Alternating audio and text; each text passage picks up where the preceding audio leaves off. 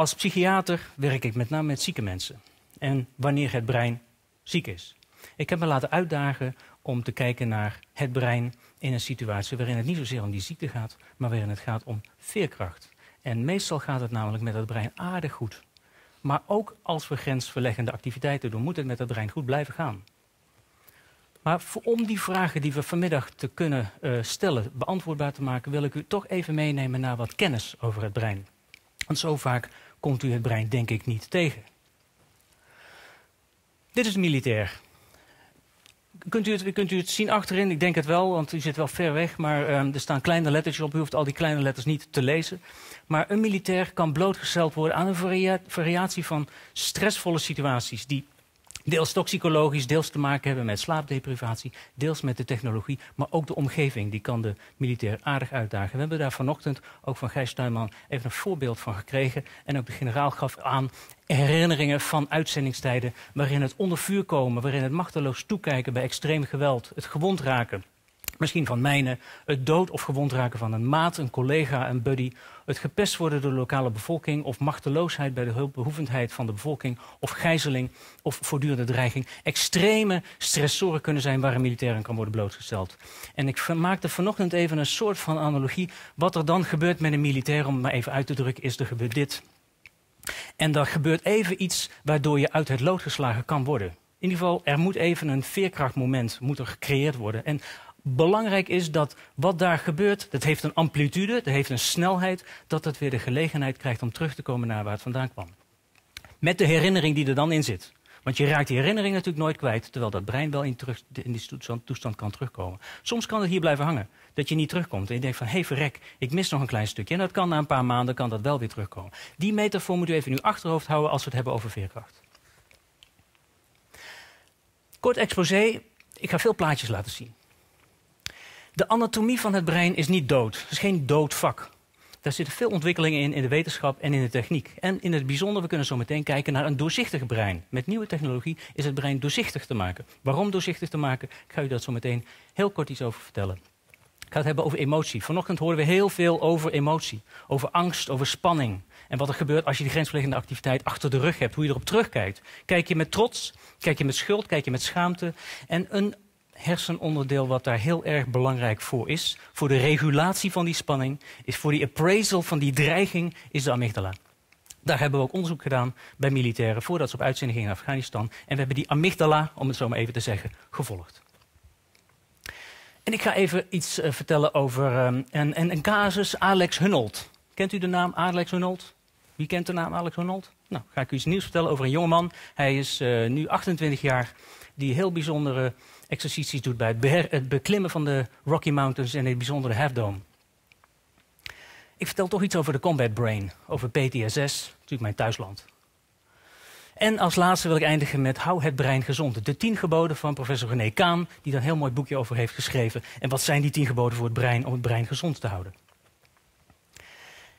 Dit boek heeft veel belangstelling gekregen, het boek van Dick Swaap. Zijn wij ons brein? Zijn wij eigenlijk ons brein? Er zijn veel boekjes over verschenen. Dit is Dick Swaap. En uh, Dick Swaap vertelt natuurlijk dat er behalve hardware ook een hele software is over regelsystemen, hoe die breinsystemen elkaar beïnvloeden.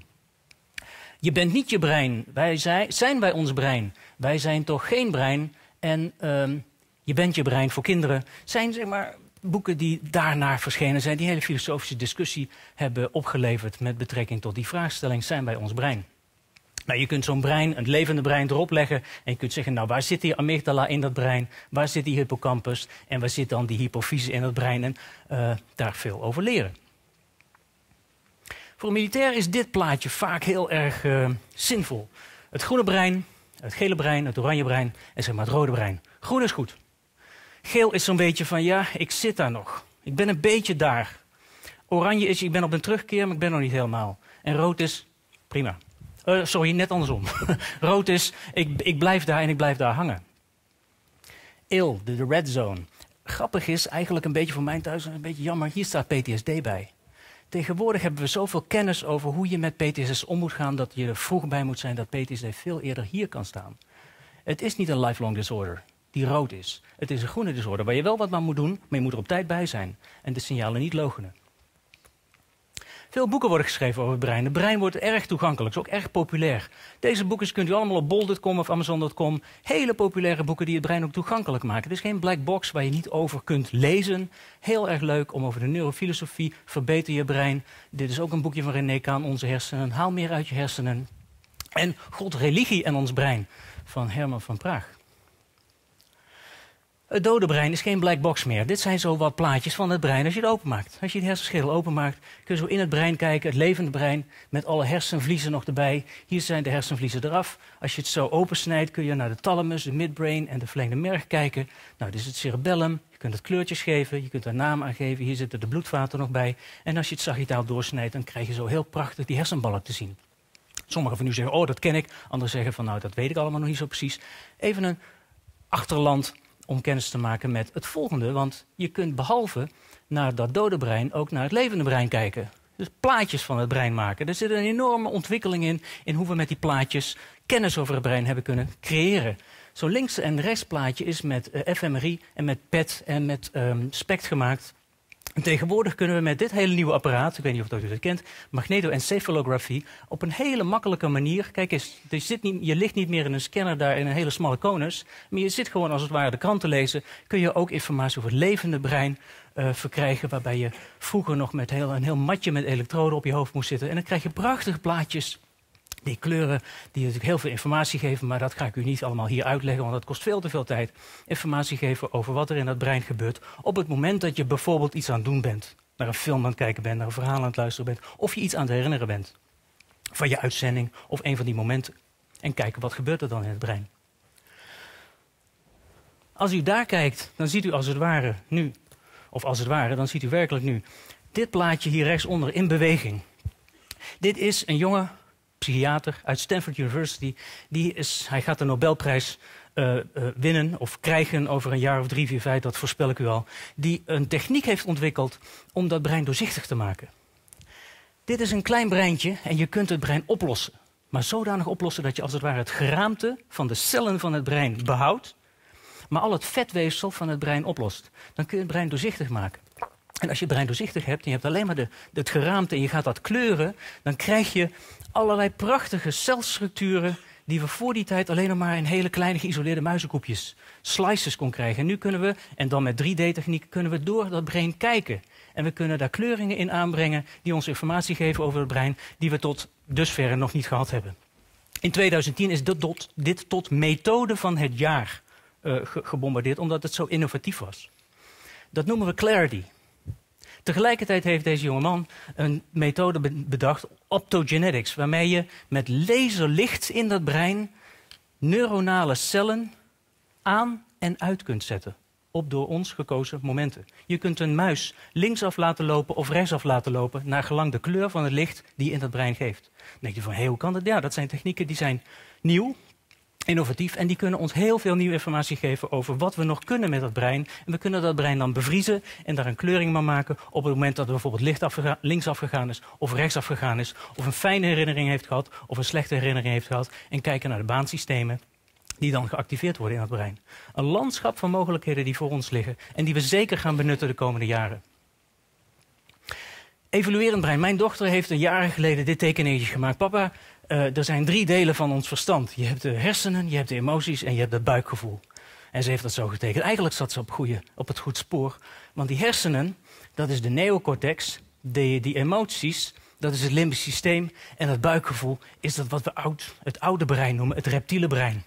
Wat te maken heeft met overleving, instinct, dat buikgevoel wat we kennen. Honger, dorst. En hier zit er veel meer angst, woede, liefde. En hier zit het leren en de planning en de executieve functies plekken in het brein die we heel goed kennen en herkennen, waar dat brein in geëvolueerd is. Stofjes in het brein, ik ga het er niet over hebben, maar dat brein is natuurlijk niks zonder stofjes. Er zitten allerlei neurotransmitters die, als we er te weinig van hebben, dan gaat het mis. Als we er te veel van hebben, gaat het ook niet goed. Serotonine is er zo een, waar we heel veel medicatie voor hebben ontwikkeld, die te maken hebben met angst, met stemming, met obsessies, compulsies. En het is belangrijk om die in een goede harmonie samen met elkaar te laten werken. Dit is een militair die ergens iets ziet. Wat een militair nu voortdurend doet op uitzending is assessment. Wat ik vanochtend even zei, is het veilig, is het niet veilig? Is het Moet ik iets doen? Is het Taliban, geen Taliban? Moet ik een actie ondernemen? Ben ik veilig in de situatie waarin ik nu ben? En wat er gebeurt is, op dat moment in het brein, eigenlijk 24 uur per dag, 7 dagen per week, is dat, de bovenste is er net afgevallen, de prefrontale cortex, de amygdala en de hippocampus heel erg met elkaar aan het interacteren zijn. De prefrontale cortex, waar moet ik heen? Moet ik dekking zoeken? Moet ik niet dekking zoeken? Die amygdala is het, ben ik in mijn fysieke integriteit op dit moment aan dreiging onderhevig? En de hippocampus zegt, heb ik dit eerder gezien? Dit ken je toch van vroeger? En als je het van vroeger kent, dan weet je dat het nu veilig is, dan hoef je nu niks te doen. Die crosstalk tussen die hersensystemen bepaalt of dat er adrenaline of cortisol wordt uitgescheiden. Adrenaline hebben we heel weinig van in huis. Dat gaat heel snel, maar heel snel op. Cortisol dat duurt 20 tot 30 minuten en dan heb je je stressrespons. Die adrenaline voelt u wel eens, dat rooi, dat warme gevoel in uw buik als u zeg maar, door het rode stoplicht rijdt en denkt van, oh, hij was net rood. Ik weet niet of u dat kent, ik heb het wel eens. Zorgen er wel voor dat we ons geheugen goed kunnen opslaan, dat we consolideren, want we herinneren zulke momenten vaak heel goed. En die cortisol zorgt ervoor dat we heel veel stress, energie mobiliseren, dat we onze ademhaling reguleren, dat we de gastro-intestinale functie om onze darm even stilleggen en dat we onze immunologische functie reguleren. Op basis van die crosstalk die daar, daar bovenin, in die bovenkamer gebeurt. In het bijzonder ga ik het even hebben over dit orgaantje, dat is die amygdala. Want dat is de signifier. Er worden boeken over geschreven over de emotional brain. Die emotional brain van Daniel Goleman. Die intelligent brain is de neocortex, maar dit is de emotional brain. Er gebeurt heel veel. De hele parfumindustrie is gebaseerd op het feit dat die neus en die amygdala maar één synaps hebben. Dus dat het rechtstreeks van de neus naar die amygdala gaat, waar die herinneringen op dat moment heel goed uh, beleefd kunnen worden. Hier zit de hippocampus. En wat gebeurt er nou als je daar een bedreigende stimulus hebt? Dan gaat die amygdala vuren. Die amygdala gaat vuren en er gebeurt veel meer in het brein. Ik geef het u even aan dat er natuurlijk niet iets te isoleren uit het brein is alsof dat, dat alles is. Maar er, gebeurt heel veel crosstalk en de hippocampus gaat omlaag en de locus ceruleus gaat vuren en heel veel crosstalk tussen dat brein. Dat kunnen wij in een scan-situatie kunnen we dat nabootsen. Hier hebt u, als u het goed ziet, hebt u een PET-scanner en daar staat een onderzoeker daarbij. En die leest iemand een verhaal voor die weer op uitzending is. En die zit in een Bushmaster en die zegt, je bent in een Bushmaster en je rijdt, kan er haar uit en er is ergens een, een, een bermbom die afgaat. En die militair die daarin ligt, is een veteraan in dit geval, een Vietnam-veteraan. Ik was daar op dat moment dat we die studie deden. Die herbeleeft weer die situatie die daar gebeurde. En op dat moment kun je kijken van wat gebeurt er in het brein op het moment dat iemand die flashback heeft of die herbeleving waar die normaal niet last van heeft. En kun je kijken wat er in het brein op dat moment plaatsvindt. En dan zie je dat die amygdala enorm veel aan het vuur is. Die laat ik even, even achterwege. Maar één keer een hond, dan kun je zeggen, oké, die amygdala en die komt weer terug. Maar als die amygdala nog niet genoeg terug is en er komt weer een hond, of weer een hond, of weer een signifier, dan krijgt die amygdala toch een opdoffer na een opdoffer na een opdoffer. En de vraag is van hoe lang duurt het dan voor die amygdala weer terugkomt op zijn rustmoment. Dat model hebben we gebruikt bij een studie die we zijn gaan ontwikkelen. Die studie hebben we gestart in 2005. Dus een bredere studie, maar ik haal er één aspect uit. We hebben in 2005 zijn we voor naar Afghanistan. En we hebben een groep van 1032 soldaten uiteindelijk gerecruiteerd om aan de studie mee te doen. Een grote studie waarbij we de militairen gevolgd hebben in de tijd. Een longitudinale cohortstudie voor uitzending. Hier heb je uitzending, hier weer na uitzending. En we hebben de militairen hebben we gevolgd op verschillende tijdsmomenten. We hebben bloed afgenomen, speeksel afgenomen, questionnaires. En we hebben die op verschillende tijdsmomenten uitgenodigd om te blijven te participeren in onderzoek. En een klein stukje daarvan hebben we uitgenodigd om aan een fMRI-studie mee te doen. Voor uitzending, na uitzending en nog een, een, jaar later. En we hebben een controlegroep hebben we thuis laten zitten. Die zaten op de Vergentkazerne, maar die hebben meegedaan. Dat was een controlegroep. En die, die 1032 die wandelt nu in de tijd en die zit ongeveer nu bijna bij de 10 jaar follow-up. Dat weten we ontzettend. Het is een, een kip met gouden eieren, zoals ik het mag zeggen. Maar wat ik u ga laten zien is een klein stukje van de fMRI-studie die we daarin gedaan hebben. Een klein stukje over die militairen die we die hond, als het ware, die signifier hebben laten zien. En we hebben gekeken hoe het met die amygdala gaat. Nou, we hebben dat hier in verschillende kazernes gedaan met combat lifesavers. En we hebben dat afgedraaid op ijs. En uh, dat is een prachtige studie om dat op de verschillende locaties te doen. Ze moesten niet naar het CMH komen, maar we zijn naar de mensen geweest. En u ziet op T1 1032, T2, we hebben wat afvallers gekregen. Maar de compliance is, is, redelijk goed voor zo'n complexe grote studie. Dit zijn getallen die eruit komen. Het enige wat ik u wil laten zien is dat de getallen, de prevalentiecijfers over klachten, is erg gering. We zien helemaal niet zoveel PTSS bij deze groep. Valt eigenlijk best mee. waar soms de Amerikaanse studies rapporteren 15, 20 procent, 25 procent. Deze jongens, allemaal buiten de poort. En je ziet bij PTSS je 4,3 procent. Je ziet na één maand 8,6, 8,9, 6,7, 5,6 procent van deze groep. Wat je ziet is dat de vermoeidheid, fatigue, 2,6, 7,1, 7,4, 9,9, 9,3. Ze blijven best wel lang moe. En moe is fysieke moeheid, maar ook cognitieve moeheid. Nou, dat is informatief. En daar moeten we nu van leren van wat is de verklaarbare, eventueel bloedfactor die we kunnen gebruiken om dat een beetje in de vingers te krijgen. Maar terug naar de studie waar ik het net over had. Hoe doet die amygdala het nu voordat je vertrekt? Nou, daar hebben we de groep die is weggegaan, die zou gaan weggaan en daar is de groep die in de vergentkazerne zat en thuis bleef. Daar hebben we de amygdala. En we hadden een soort van thermometer om de amygdala-activiteit te bepalen. Ik ga u daar niet meer lastigvallen om daar veel over te vertellen. Voor uh, uh, een Hariri-test. Voor uitzending was er geen significant verschil tussen de beide groepen. De ene is wel wat hoger dan de andere, maar significant was dat niet. Na uitzending deed de groep die in Afghanistan geweest was zo. Daar zat een delta in. Die amygdala was veel reactiever. Een toename in amygdala-activiteit in de uitgezonden groep, gemeten als een verschil de delta. De reden van dat verschil zou je kunnen zeggen, er is een combat brain getraind. Als je dat zeven dagen in de week, 24 uur per dag moet doen, die threat appraisal, dan train je eigenlijk de amygdala als waarheid een spier. Als u naar de gym gaat en u traint uw spier, dan wordt die actief, dan wordt hij hypertrofisch. Dan doet hij het beter na een tijd. Nou, die amygdala ook. Die is ook niet dom, die reageert. Die doet het veel beter. We noemen dat een kindling effect. Een veranderd neuraal circuit. En we zagen een relatie tussen de ervaren dreiging en de koppeling van amygdala-activiteit en een gebied in het limbisch systeem. Die details mag u verwaarlozen, maar dit geldt specifiek voor de perceived threat. Die militair die een toename had in amygdala-activiteit, was die militair die ook ervaarde in die uitzending dat hij veel threat perceived had. Dus veel gezien had dat er dreiging op hem afkwam. Is dat erg? dat je zo'n reactieve amygdala hebt? Kan dat tot schade leiden als je daar blijft hangen, dat je niet terugkomt naar baseline? Kan dat afgezet worden? Of kan dat uitgezet worden? Of afgetraind worden? Dat is een vraag die we hadden. We hebben dit vaak gezien bij PTSD-casus. Dat iemand een hele reactieve amygdala heeft. Dan hadden we een PTSS-patiënt, dan een controle, leggen we onder scanner. En dan PTSD werd gekenmerkt door een hele sterke amygdala-activiteit. Dus wij dachten van jeetje, deze jongens, er waren mariniers, 32 mariniers, die deden het allemaal heel goed. Hadden geen klachten van PTSS. Helemaal niet. Gewoon goede, top. Maar we hadden wel een hele reactieve amygdala. Wat moeten we daar nou mee? Nou, opnieuw scannen, na een tijdje. Ik ga u dat vertel, zo meteen vertellen wat eruit kwam. We hadden dus eigenlijk een combat brain. Heel kort eventjes, is, we hadden het over angst vanochtend. Nou ja, we hadden het niet over angst, maar het waren wel situaties waarin je angst zou kunnen hebben, die er niet was.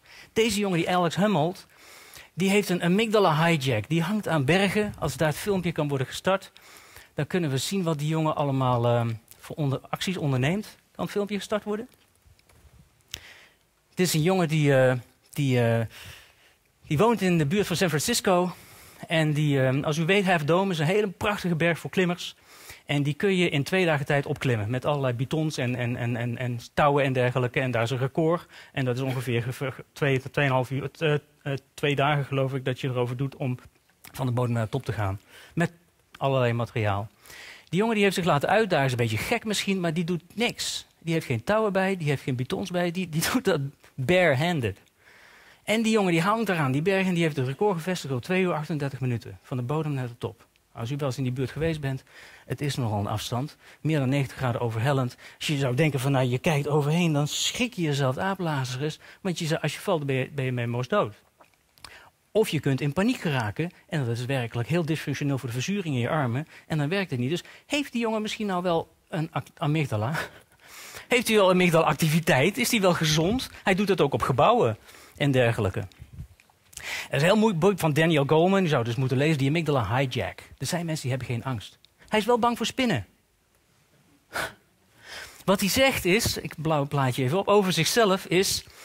To me, that sort of calmness, though not as dramatic as soloing a big wall, let's say, has been a slowly learned process. It applies to all things in life and is a constant learning process. He is not fearless, he says, not even close, but I probably do a better job than others might of staying rational or calm in what could be a scary situation. What could be a scary situation. I don't know how to, how much about it. I just say that I've gotten better at it with time. Nou, even terug naar die, uh, naar die amygdala. Oh, moet ik even eentje terug, anders kijk, vergaat ik het al. Kijk, we zaten bij deze situatie. We hadden die amygdala die heel reactief was bij die militairen. En we dachten, wat moeten we er nou mee? Want we hebben eigenlijk een situatie die niet terug naar normaal is. Niet terug naar baseline is. Die kwetsbaar zou kunnen zijn als dit zou kunnen blijven bestaan. Oranje, misschien wel rood. Dus we hebben ze nog een keer onder de scanner gelegd. Dit is een soort van morele dilemma waar een wetenschapper dan mee zit en zegt van nou, studie is eigenlijk afgelopen, maar hij is niet afgelopen. Dus we moeten ze allemaal nog een keer terughalen. We hebben ze allemaal teruggehaald. Nog een keer onder de scanner gelegd. Drie maanden later, zes maanden later hebben we gedacht, laten we maar een jaar doen. Want we willen wel weten, zitten thuis bij vrouwen en de kinderen, willen wel weten als het zo is, dat het goed is. We hebben ze nog een keer onder de scanner gelegd en dezelfde thermometer in de amygdala gestopt, om het zo maar even te zeggen. En u ziet het. Na een jaar in de afwezigheid van psychopathologie of PTSS-klachten, ging die amygdala keurig terug naar normaal. Dit was bij de controlegroep. Ze nou ja, daar zit wel iets verschil in. Als we dat gaan uitrekenen, zit daar geen significantie in. Dus we trainen een combat brain. Maar dat combat brain komt als het veilig is. En in Nederland is het in de regel veilig als je terugkomt naar een uitzending. Komt we helemaal terug naar normaal. Dus wat moeten we daar nou mee? Dit is zoals het brein werkt. Dus dat combat brain is teruggekeerd normaal in de afwezigheid van additionele voortdurende activatie van een safety network, in de afwezigheid van psychopathologie. We hebben wel gezien dat er een geheugenspoor bleef voorbestaan. Dus wat ik u net zei, ja, er is wel iets in dat brein gekomen, namelijk een spoor van geheugen, een trace, een memory trace. Soms gaat dat mis. Hoeveel tijd heb ik nog nu op dit moment? Prima. Soms gaat het mis dat dat niet gebeurt. En ik weet niet of dat u dit boek hebt gelezen, een prachtig boek. Hij is nog steeds militair, deel, van ons krijgsmacht. Uh, Niels Veldhuizen, Oorlog in mijn kop. Ik lees even voor wat hij in zijn boek schrijft. Niet zo lang geleden zag ik PTSS als een gewone oorlogsverwonding. Een schampschot, desnoods een kritiekschot. Bij een schotwond brandt een kogel met 920 meter per seconde door je huid, scheurt weefsel en versplintert botten, verplaatst zich tuimelend door het lichaam en richt zoveel mogelijk schade aan. Intussen weet ik dat de vergelijking totaal mank gaat. Er zijn geen gewone oorlogsverwondingen en PTSS lijkt niet op een schotwond. Kogels treffen en verwoesten je à la minuut. Misschien zie je de flits, hoor je de klap en ruik je de verbranding, maar je ondergaat de inslag altijd. Bij PTSS werkt het juist andersom. PTSS kruipt onder je huid en nestelt zich daarna in je hoofd en wacht rustig op het juiste moment en slaat dan toe. Heel romantisch en heel prachtig, maar wel heel tragisch, omdat je niet weet op welk moment dat dat zou kunnen toeslaan. Hij kan er prachtig over vertellen, de aardige jongen. Dus we hebben wat hypothetische patronen hier voor een uitzending, een jaar later en twee jaar later. Het kan zijn dat je met klachten weggaat, die we niet hebben gedetecteerd. Het kan zijn dat er een verlaat ontzet is, dat pas na jaren eigenlijk je merkt van verrek, het komt nu pas naar buiten. Het kan zijn dat het niet zo goed ging, maar dat het beter gaat en je trots bent en dat je die uitzending eigenlijk nodig hebt gehad om in je professionele, professionaliteit rust te vinden. En dit is wat we in een merendeel van de gevallen zien, resiliency. Dat het brein gewoon prima doet wat hij deed, doen moest en weer terugkomt naar een uitgangssituatie. Over die PTSS zijn, nou je kunt er drie, vier, vijf slides mee vullen, zijn ook prachtige boeken geschreven. Dit is het boek van uh, Niels Veldhuizen, had ik hem erbij gezet. Dit is van Niels Veldhuizen. Maar we hebben Soldaten oorlogsgang. We hebben uh, Leven met PTSS, Gebed uit Joegoslavië, Alleen kinderen huilen van, van Libanon. Prachtige boeken die heel veel ervaringsverhalen dicht bij ons brengen. En die ons de gelegenheid geven om te lezen over de worsteling die sommige mensen, als het niet goed gaat met hun leven en met hun omgeving hebben. Eventjes dan als, bijna als afsluiter, wat is dan als dat niet goed gaat? Wat weten we daarvan? En ik zou er niet te veel over vertellen, maar het biologisch framework van als dat nou blijft hangen daar, daar en het komt niet terug, dan geeft dat slijt, geeft dat sleet aan je lichaam. Je bent prikkelbaar en je blijft prikkelbaar en het komt niet meer terug naar die situatie waarin je eigenlijk gewoon lekker door kan gaan en alles goed gaat. Je slaapt lekker, je blijft hangen. Er is wel een homeostatische balans, maar tegen een prijs. Er is een overconsolidatie van traumatische herinneringen die iedere keer parten spelen en komen op momenten dat ze eigenlijk unwanted zijn, dat je ze niet wilt, s'nachts of overdag. Er is stresssensitisatie, een hyperreactiviteit van biologische systemen. Dat je veel te snel reageert op het kind aan de keukentafel wat met zijn ei morst. En denkt van verrek, heb ik nou veel te snel weer gezegd dat hij dat niet moet doen. Moet doen en dat je er last van hebt dat je zo snel reageert. En er is een veranderde setpoint. Kijk maar eens even hier bijvoorbeeld. We hebben hier 15 veteranen met PT6, 15 veteranen die uitgezonden zijn geweest zonder PT6 en gezonde mensen naast elkaar neergelegd en laten slapen.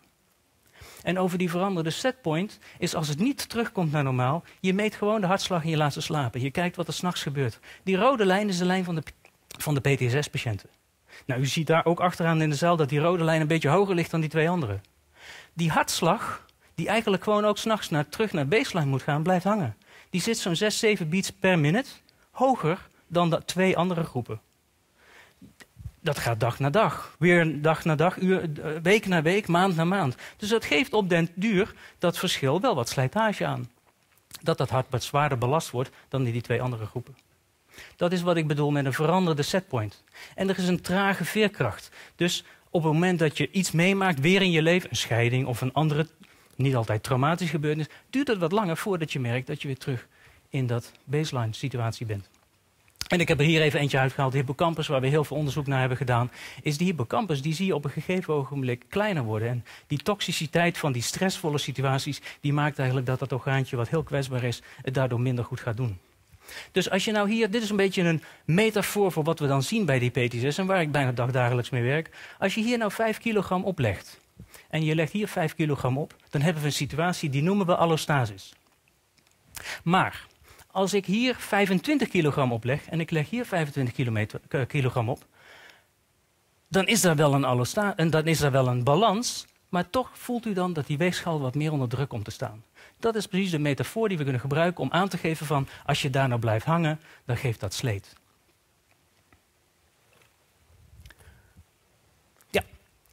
Nou dan laat ik deze achterwege. Meestal, in 95% van de gevallen, want ik gaf u net de prevalentiecijfers van PTS, gaat dat goed hebben wij kennelijk zoveel veerkracht dat we er niks voor hoeven te doen. Keert dat brein prima terug naar die baseline. In een klein aantal van de gevallen gebeurt het zo dat die PTSS, PTSS blijft staan. En PTSS zich kan manifesteren in afhankelijkheid van de intensiteit van de stressor die je natuurlijk achter je kiezen krijgt. Twee slides nog als afsluiting. Sommigen van u zouden kunnen denken, hey, zo'n foto die ken ik nog van mijn uitzending of van vroeger. Voor veel veteranen heb ik gemerkt, is het zo dat omdat je niet terug kunt gaan naar die plek waar je op uitzending geweest bent, is dat dat brein bevriest. Er is een soort iconisch geheugen. Wie waren die kinderen nou ook alweer? En dat plaatje blijft in je brein staan. Dat plaatje ook. Een van mijn patiënten die heeft die had de ambitie gehad om daar naar te gaan zoeken. En je kunt zoveel met sociale media, die heeft die twee kinderen gevonden. Nou ja, zijn nu geen kinderen meer, dat zijn vrouwen geworden. En zijn zoon, zijn eerstgeborene, die heeft hij meegenomen naar de plek. En dit meisje, is, is deze vrouw geworden. En dat meisje is nog levend. Elvira en Sabine hebben een naam. Voor hem is het ontzettend belangrijk. Je zou kunnen zeggen, wat heeft dat nou allemaal met het brein te maken? Ja, dat brein heeft natuurlijk context nodig om tot rust te komen. En om dat plaatje van wat er toen was en wat zo traumatisch was, als het ware te zien evolueren naar, oh ja, het leven evolueert. Het leven gaat door. Deze man heeft hij ook gevonden. Zijn broer is overleden, maar hij leeft nog. Dat is zijn zoon. En die man heeft ook een naam, dat is Osman. Dat soort contextuele informatie kan ook heel veel later nog enorm belangrijk zijn om iets een plek te geven waar je eerder eigenlijk van merkte dat je dat onrust gaf. Dat het verhaal niet af was. Nou, en als uitsmijter, uh, uh, het, het, boekje kan u aanbevelen. Het is een heel goedkoop boekje, maar het is een leuk, leuk boekje. Wat professor Kaan, hoogleraar psychiatrie op het UMC, zegt: hou je brein gezond. Hoe hou je je brein gezond? Door te studeren. Door er goed te slapen. We hebben echt slaap nodig. Slaapdeprivatie geeft uiteindelijk problemen. Goed slapen. Maak muziek. Stress niet. Maak vrienden. Geniet aanzien. Dwing dat aanzien af. Voor zover je het niet hebt. Heel belangrijk. Ben daar trots op. Drink niet. Zweet. Sport. Lekker. Speel. Heb daar ook plezier in. En de laatste is eigenlijk een dooddoener. Ja, dat kun je niet natuurlijk. Hè? Die laatste kan je. Dat relativeert eigenlijk een soort van ook al die andere. Er zit een grens aan. En die laatste, ja, daar kun je niet, dat kun je niet bepalen. Dus dat is een beetje de afsluiting die hij, uh, die hij daaraan geeft. Nou, wat ik u heb proberen te vertellen, een exposé van dat dode brein naar dat levende brein. één klein orgaantje, die amygdala, dat het eigenlijk in merendeel van de gevallen altijd wel goed komt. En dat biedt eigenlijk de context die ik met u wilde neerzetten als achtergrond voor de volgende spreekcurs, die daar ja, meer beeld en geluid en meer nuancering bij geven. En als beginspreker wil ik zometeen, maar we hebben nog even een question and answers en een transitieronde. Zometeen geef ik het woord aan Caroline Six. Maar ik dank u voor uw aandacht voor, uh, voor dit moment.